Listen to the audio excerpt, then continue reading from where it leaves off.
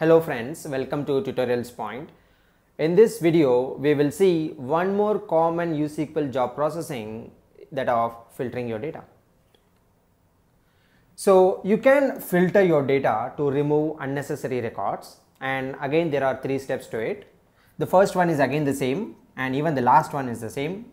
First one is the extraction, the last one is the outputting. And the second stage is you would filter the data using a where clause similar to SQL language and in the where clause you can use the power of C sharp language to use any of the different C sharp functions which we will look at in the demo. So I already have prepared a U-SQL script. So let me just go and copy paste that and let me give some space so that you are able to see the different stages of this job execution.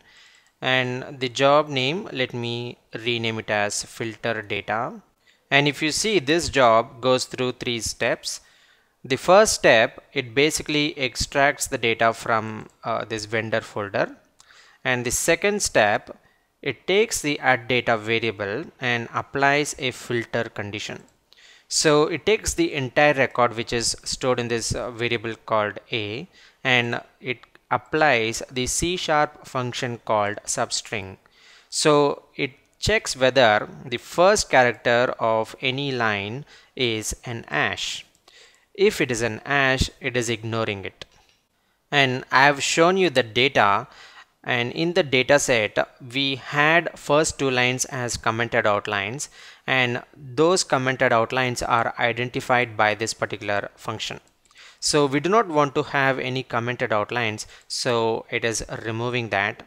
And once it removes I'm basically getting um, the output within the results.txt and results.txt is already created. So what this will this code will do is it will just go and replace that file.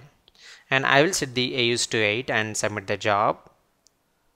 After some time the job is successful.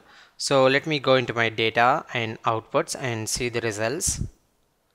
And you see we receive all the different records within that file except the first two records because of that C sharp function. Thank you.